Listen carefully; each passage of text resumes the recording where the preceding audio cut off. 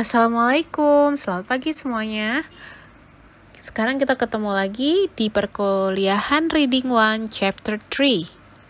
So for today's reading class, we will learn more about the reading comprehension skills, especially about looking for topics and main idea. So we go to the next slide. Understanding the difference between topics and main idea.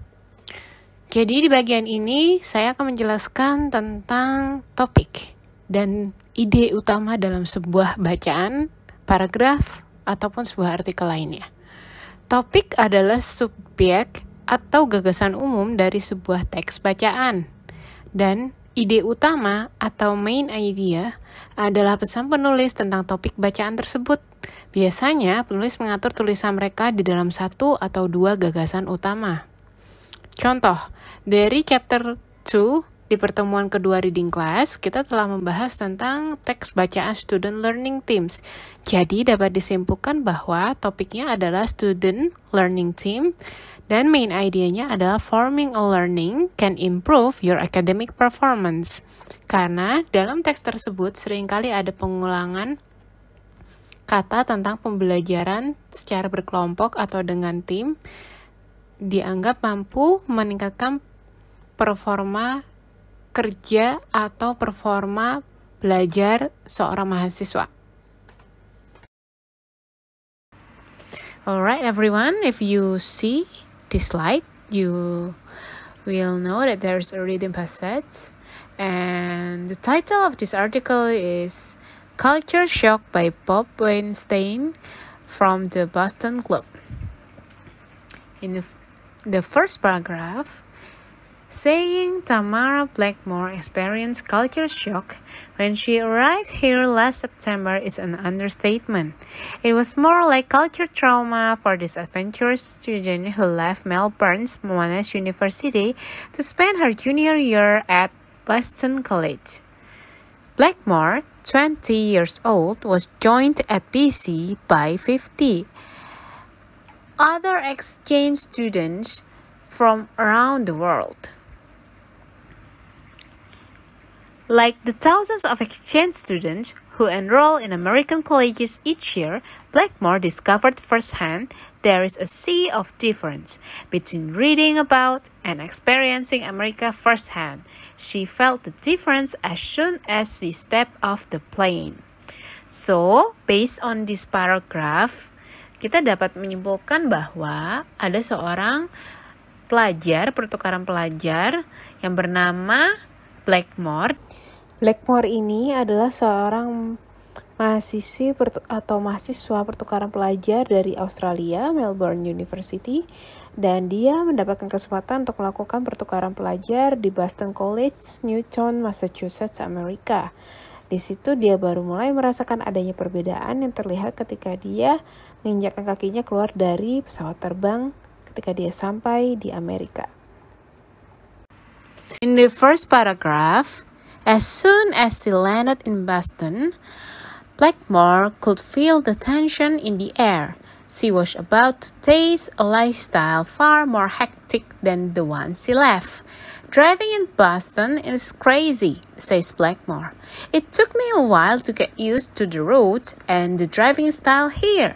I was always afraid someone was going to hit me. It was particularly tricky since the steering wheel was on the wrong side of the car. In Australia, it's on the right side. Beyond the cars and traffic jams, Blackmore said it took a while to get used to so many people in one place, all of whom seemed like they were moving at warp speed. Oke, dari paragraf ini bisa disimpulkan bahwa ketika dia sudah sampai di, Bas di Boston, Blackmore tuh merasakan uh, ada tekanan di udara. Jadi dia merasa bahwa di sini tuh kehidupannya lebih akan membuat dia menjadi sangat sibuk daripada ketika dia berada di Australia. Dan dia juga tidak terbiasa dengan cara menyetir mobil di Amerika karena tempat untuk menyetir mobilnya itu tempat setirnya ada di sebelah kiri. Sangat berbeda dengan di Australia yang tempat setirnya ada di sebelah kanan. Dan di antara banyaknya mobil, lalu banyaknya kemacetan, hal ini membuat Blackmore merasa bahwa dia akan mencoba untuk bisa terbiasa dengan banyaknya orang-orang dalam satu tempat dan bagaimana orang-orang ini sepertinya terbiasa untuk berpergian dalam waktu yang sangat cepat. Jadi sepertinya bergerak dengan sangat cepat seperti itu. Oke. Okay? Now, in the second paragraph, we could see that there are only 18 people in Australia spread out over an entire country, she says, compared to more than 6 million people in the state of Massachusetts alone. We don't have the kind of congregation you have in Boston. There's always a whole different perception of space.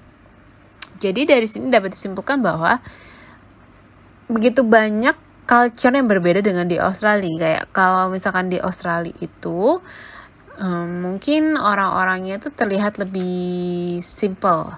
Simple dalam artian tidak sampai menimbulkan kemacetan di jalan. Tapi kalau di Amerika sepertinya selalu terjadi kemacetan. Next, the pressing problem for Blackmore was making a quick adjustment to the American lifestyle that felt like it was run by a stop watch. For this easygoing Australian, Americans seemed like perpetual motion machines.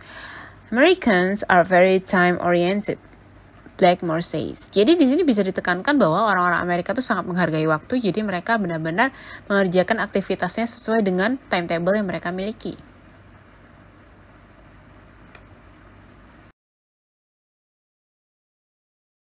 Everything is done according to a schedule.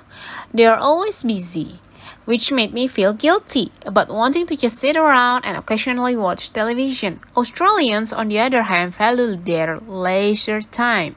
The pace there is a lot slower because we don't feel the need to always be busy. It's not that Australians are lazy, it's just that they have a different concept of how time should be spent. Back home, I used to spend a lot more time just talking to my friends. Jadi berdasarkan paragraf ini dapat diambil kesimpulan bahwa orang-orang Australia ini cenderung lebih santai dan mereka sama menghargai waktu luangnya. Berbeda dengan di Amerika yang selalu terlihat sibuk. Dan bukan berarti orang-orang Australia ini adalah orang-orang yang pemalas, tapi mereka ini adalah orang-orang yang sangat menghargai waktu. Di samping itu, dia mengakui bahwa perbedaannya ialah ketika Blackmore berada di Australia, dia lebih sering berbicara dengan teman-temannya sebagai bentuk uh, aktivitas yang dilakukan ketika di waktu luang. Okay, next paragraph. It didn't take long for Blackmore to adjust to American rhythms. I felt the pressure to work harder and do more because everyone was running around doing so much, she says. When busy students weren't handled over books, Blackmore found it odd that they were compulsively jogging, running, biking, or doing aerobics in order to be thin. Compared to home, the girls here are very skinny, she says. Before I got here, I heard a lot of stories about the pressure to be thin and that many young American women have eating disorders. I will go out with a friend and just tuck into a good meal and have a good time, whereas an American girl will just pick at her food. Jadi di paragraf ini disimpulkan bahwa orang-orang atau mahasiswa lain dari Boston College ini terbiasa untuk menyibukkan diri mereka. Ada yang melakukan kegiatan aktivitas seperti jogging, berlari, bersepeda, atau melakukan senam aerobik. Dan semua ini mereka lakukan pada umumnya supaya mereka terlihat lebih kurus karena uh, kebanyakan orang-orang Amerika ini sangat terobsesi untuk tubuhnya menjadi sangat kurus sampai mereka memiliki gangguan untuk makan seperti eating disorders. Jadi ketika dia makan mungkin makanannya uh, jadi dimuntahkan kembali dan ada banyak macam dari eating disorder itu sendiri. Dan itu bisa kalian cari di internet. And then the next paragraph, when it comes to drinking, Blackmore says Australians have a lot more freedom. We are more casual about drinking at home, she says, whereas there are many rules and regulations attached to when and where you can drink in the United States, not to mention a legal drinking age of 21 compared with Australia's legal drinking age of 18. Bahkan adanya perbedaan antara uh, diperbolehkannya anak-anak berumur tertentu yang bisa mengkonsumsi minum-minuman keras. Kalau misalkan di Australia ketika mereka berumur 18 tahun mereka bisa minum minuman keras, tetapi kalau di Amerika mereka tidak bisa minum minuman keras ketika mereka sebelum mereka menginjak umur 21 tahun. Di samping itu, kalau di Australia mereka bebas untuk minum minuman keras di rumahnya sendiri. Tetapi kalau di Amerika ada begitu banyak aturan dan tempat-tempat dan waktu yang ditentukan supaya mereka dapat mengkonsumsi minuman keras. Next. But it's Boston College laid back and friendly learning environment that sets it apart from her Melbourne College experience. Generally, speaking, learning facilities are a lot better in Boston, says. In Australia, students and teachers have little contact outside the classroom. It's a formal and depersonalized relationship. College is a place you go for a few hours every day and then go home. Your social life and school life are separate. Jadi, based on this paragraph menunjukkan bahwa perbedaan antara kampus di Melbourne dan di Boston, kayak kalau misalkan kampus di Melbourne ini lebih formal karena tidak adanya komunikasi antar guru dan mahasiswanya atau dosen dan mahasiswanya di luar lingkungan kampus. Jadi benar-benar dipisahkan gitu antara dosen dan muridnya.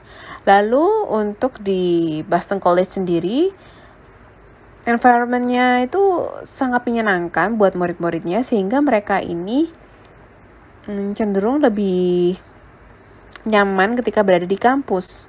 Berbeda dengan di Melbourne yang lebih sering mereka menganggap bahwa ke kampus itu hanya sebuah kebutuhan atau kewajiban sebagai seorang mahasiswa, lalu setelah itu mereka kembali ke rumahnya mereka masing-masing. Dan antara kehidupan sosial dan kehidupan mereka ketika berada di kampus tuh benar-benar terpisah. Okay, next paragraph. It's just the opposite at BC according to the Blackmore. BC students and faculty are like one big happy family, she says. There is a real sense of a team spirit. It's like we are all in this together. Going to school here is a lifestyle, whereas at home you're just a number. We attend school to get a degree so we can graduate, get a job, and get on with our lives. Jadi dalam paragraf ini menjelaskan bahwa murid-murid Boston College ini benar-benar kekeluargaannya tuh terasa dan mereka merasa seperti uh, uh, keluarganya besar gitu yang sangat bahagia. Dan sense atau solidaritasnya itu sangat tinggi antara pekerja yang ada di Boston College baik itu dosennya pegawai kantornya dengan mahasiswanya itu benar-benar sangat kuat gitu solidaritasnya. Dan mereka menganggap bahwa ya, pergi ke untuk menempuh pendidikan di perkuliahan itu sebagai lifestyle atau gaya hidup. Sedangkan di rumah itu hanya sekedar bagian dari salah satu aktivitas mereka saja ketika kembali ke rumah. Dan mereka meyakini bahwa kehadiran mereka untuk mengikuti perkuliahan ini tentunya juga agar mereka dapat lulus, dapat pekerjaan, dan juga bisa segera meneruskan kehidupan mereka masing-masing.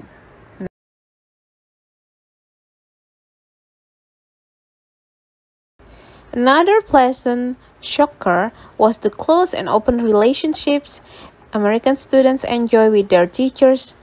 It's a sharp contrast to Australia, where college students keep a discreet but respectful distance from their teachers. I was surprised when I learned students go out to dinner with their lecturers, she says.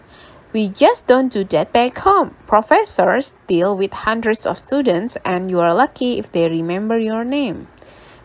When Blackmore returns to Australia at the end of the school year, she will have plenty of memories, most of them good ones. Boston College, like most American colleges, has gone out of its way to create a memorable experience for Blackmore and its other exchange students. Jadi, yang dapat disimpulkan dari kedua paragraf ini ialah bahwa dia benar-benar tidak menyangka kehidupan perkuliahannya sangat berbeda dengan ketika dia berada di Australia. Karena ketika dia berada di Amerika di Boston College itu bahkan mahasiswanya dapat hmm, pergi makan malam bersama dengan dosennya. Padahal kalau di Australia uh, hubungan antara mahasiswa dan dosennya itu benar-benar dibatasi oleh tembok besar dan profesornya sering kali berhubung berhubungan dengan begitu banyak mahasiswa jadi mereka tidak dapat menghitungnya dan mereka dan kamu akan dianggap beruntung jika profesor tersebut bisa mengingat nama kamu. Terlebih lagi pengalaman yang dimiliki oleh Blackmore ketika dia berkuliah di Boston College tentunya akan membuat kenangan yang sangat indah dan akan selalu diingat oleh Blackmore dan para pelajar pertukaran pelajar lainnya.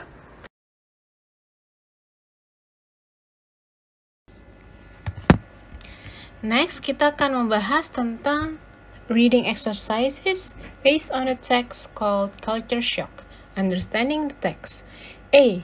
Multiple choice For each item below, circle two answers that best complete each statement. Jadi, untuk mengerjakan soal ini, kalian diperlukan untuk memahami setiap makna dari dari pilihan ganda yang ada yang tersedia dalam soal tersebut. Lalu, Anda harus memberikan dua jawaban yang tepat untuk melengkapi kalimat soal. Number one, The purpose of reading is to blah blah blah. A.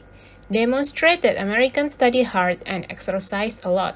B. Show one student's thoughts on cultural differences between Australia and the United States. C. Point out some ways in which foreigners experience culture shock in the United States. D. Argue that everyone should spend a year as a foreign exchange student. Dalam soal di atas dapat disimpulkan bahwa tujuan dari membaca teks culture shock adalah B and C. Show one student thoughts on cultural differences between Australia and the United States. C. point out some ways in which foreigners experience culture shock in the United States. Jawabannya adalah B dan C karena dalam teks culture shock lebih membahas tentang apa yang dipikirkan oleh seorang pelajar yang mengalami perbedaan budaya antara Australia dan Amerika. Di samping itu juga dijelaskan tentang bagaimana pengalaman seorang pelajar atau orang asing yang mengalami culture shock di Amerika. Number two, Tamara Blackmore says that blah blah blah in Australia. A. Students and teachers sometimes become good friends. B. Students make a clear separation between their academic and social lives. C. Professors often do not know their students' names.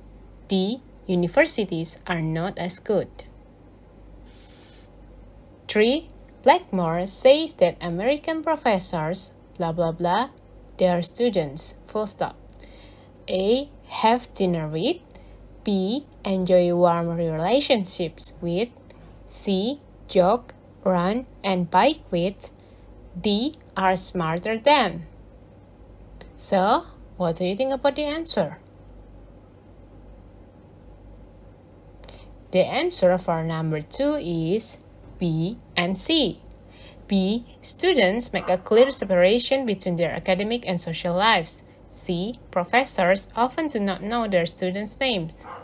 Because based on the text, dapat dipahami bahwa pelajar yang berada di Australia sangat dibatasi hubungannya dengan guru-guru mereka atau lecturers mereka. Sehingga tidak ada komunikasi di luar kelas setelah perkuliahan selesai. Dan biasanya banyak sekali guru-guru yang tidak mengenal nama dari mahasiswa mereka sendiri. Kecuali kalian beruntung diingat oleh profesor kalian namanya siapa seperti itu. Lalu untuk nomor tiga jawabannya adalah A and B. Have dinner with and enjoy warm relationships with. Jadi dapat disimpulkan berdasarkan teks bacaan yang ada di Culture Shock. Blackmore sebagai seorang mahasiswi pertukaran pelajar di Boston College, dia menyadari bahwa hubungan antara mahasiswa dan dosen sangat akrab di sana. Bahkan mereka bisa makan malam bersama dan juga bisa berkomunikasi dengan bebas baik di luar kelas maupun di lingkungan manapun. Next. When it comes to drinking alcohol, Blackmore feels that blah blah blah, full stop. A. There are stricter rules in America than in Australia. B. The, the, drinking age in Australia is too low. C. Americans drink more than Australians. D. Australians are more relaxed about alcohol than Americans. Number 5. Blackmore will probably agree that blah blah blah full stop. A. Americans are better drivers than Australians. B. American professors take a greater interest in their students than Australian professors. C. Australians are more relaxed than Americans. D. American women enjoy good food more than Australian women. So, what do you think about the answer for number 4 and number 5? The answer for number 4 is A and D. There are stricter rules in America than in Australia. Australians are more relaxed about alcohol than Americans. Karena based on the reading text, we can see that Blackmore knows that banyak sekali aturan yang sangat ketat di Amerika daripada di Australia. Lalu orang-orang yang berasal dari Australia cenderung lebih santai dalam minum alkohol daripada orang Amerika karena kalau di Amerika hukum untuk legal age drinkingnya pada usia 21 tahun, sedangkan di Australia umur 18 tahun sudah bisa minum minuman keras. Dan di Amerika ada aturan tertentu untuk mengkonsumsi minuman keras, tidak bisa di dalam rumah. Hanya bisa di seperti di klub, di bar, atau di cafe, seperti itu. Lalu untuk jawaban nomor 5 adalah B dan C. American professors take a greater interest in their students than Australian professors. Karena berdasarkan teks Culture Shock dijelaskan bahwa hubungan yang baik dapat terjalin antara profesor Amerika dengan murid-muridnya di perkuliahan daripada profesor di Australia dengan murid-muridnya. Lalu, C. Australians are more relaxed than Americans. Karena berdasarkan teks, orang-orang Australia cenderung lebih santai. Mereka sering kali menghabiskan waktunya untuk berada di rumah, untuk relaxing, atau berbicara dengan teman-temannya. Next.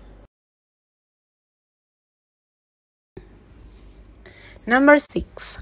The overall tone of the reading is blah blah blah and blah blah blah full stop. A. Humorous. B. Thoughtful. C. Upsetting. D. Informative. The answer is B and D. Karena dalam pertanyaan nomor nomor 6 disebutkan Bagaimana nada yang disampaikan melalui teks bacaan culture shock? Tentunya jawabannya adalah B dan D. Karena bacaan tersebut sangat informatif dalam menyampaikan info-info terkini tentang culture shock yang dialami oleh para pelajar di Australia ketika ting tinggal di Amerika. Di samping itu juga thoughtful, penuh dengan pemikiran-pemikiran yang sangat kritis, terutama dalam hal legal age drinking antara Amerika dan Australia. Next. Membandingkan penggunaan used to, get used to, and be used to. Jika kalian melihat ke slide ini, used to biasanya digunakan untuk menjelaskan hal-hal yang dilakukan secara teratur di masa lalu, tetapi tidak lagi dilakukan di masa kini. Contohnya adalah pada kalimat Back home, I used to spend a lot more time just talking to my friends. Di, dulu ketika aku berada di rumah, biasanya aku menghabiskan banyak waktu untuk berbicara dengan teman-temanku. Kalimat ini merujuk pada text culture shock, sehingga di sini dapat disimpulkan bahwa Blackmore dulunya sering sekali menghabiskan waktu untuk berbicara dengan temannya, tapi kini sejak ia pindah ke Amerika, waktunya sangat penuh. Nah, sekarang kita berlanjut ke get used to. Get used to berarti menjadi terbiasa dengan suatu aktivitas yang baru. Contoh kalimatnya ialah It took me a while to get used to the roads and the driving style in Boston. Berarti di sini menunjukkan bahwa Blackmore membutuhkan waktu yang cukup lama untuk terbiasa dengan lingkungan dan jalanan terutama gaya menyetir mobil di Boston karena setirnya berbeda dengan di Australia. Posisi setir di Australia berada di sebelah kanan, sedangkan di Amerika di sebelah kiri. Next, be used to. Be used to berarti merasa nyaman dengan sesuatu aktivitas. Be adalah to be. Is, am, are. Contoh kalimatnya adalah For six months, Tamara had a difficult time adjusting to American customs. Now, she used to living in the United States. Dari sini dapat disimpulkan bahwa Tamara mengalami waktu yang cukup sulit untuk terbiasa dengan kebi kebiasaan yang ada di Amerika. Karena dia baru tinggal di Amerika selama enam tahun. Tapi kini Tamara sudah terbiasa dengan kehidupan yang ada di Amerika. Di sini dapat dilihat now she is used to living in the United States. Jadi be used to ini berarti be bisa diganti dengan is, am atau are dan di sini penggunaannya adalah she, he, it diikuti oleh is, maka she is used to living in the United States. Next. Now we are going to do another exercises. This time I'll read out loud the sentence of the exercises, then I will show you the answers. A. Read the sentences, then write if each statement that follows is true or false. Jadi, saat kalian mengerjakan soal ini, baca terlebih dahulu seluruh kalimatnya, lalu Tentukan apakah kalimat tersebut jawabannya benar atau salah dengan huruf T true atau F false. Number one, it took a while for Tamara to get used to living in a big city like Boston. When Tamara first moved to Boston, she wasn't comfortable living there. The answer is 2. Ellen used to believe in love at first sight. Ellen doesn't believe in love at first sight now. The answer is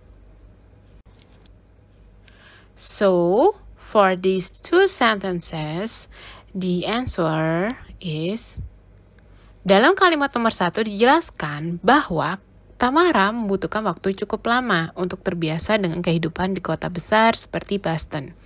Pertama kali Tamara pindah ke Boston, dia tidak nyaman tinggal di sana.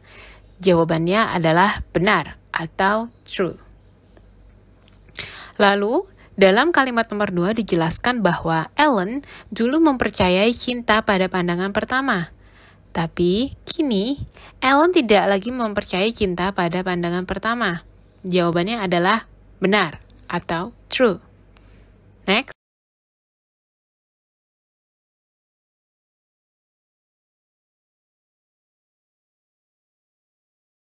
Three. When Alice was a child, she used to visit her grandparents every summer. As a child, Alice seldom visited her grandparents in the summer. The answer is number four. John has had his own apartment for five years, so he's used to living alone. John is accustomed to living alone. The answer is number five. Though I lived in Mexico for many years, I never got used to the spicy food. These days, the speaker enjoys spicy food. The answer is next. Answer key for true or false exercises. The number three. Di kalimat nomor tiga dijelaskan bahwa ketika Alice masih kecil, ia terbiasa ke rumah kakek dan neneknya setiap musim panas. Alice saat masih kecil jarang mengunjungi rumah kakek dan neneknya di musim panas. Maka dalam kalimat yang baru saja saya jelaskan kepada kalian, jawabannya adalah salah atau false karena Alice saat masih kecil sering kali pergi ke rumah kakek dan neneknya setiap musim panas. Next. Answer key for true or false exercises number 4. Di kalimat nomor 4, diceritakan bahwa John memiliki apartemen pribadi selama lima tahun lamanya, sehingga ia terbiasa hidup sendirian. John terbiasa hidup sendirian. Maka jawaban yang benar adalah benar atau true karena John sudah terbiasa memiliki apartemen pribadi selama lima tahun lamanya, berarti dia terbiasa untuk hidup sendirian. Number five, di kalimat nomor lima disebutkan bahwa meskipun saya tinggal di Meksiko selama beberapa tahun, saya tidak pernah terbiasa makan makanan pedas. Kini, saya atau the speakers sebagai pembicara menyukai makanan pedas. Dari kalimat kini pembicara menyukai makan makanan pedas, jawabannya adalah false atau salah.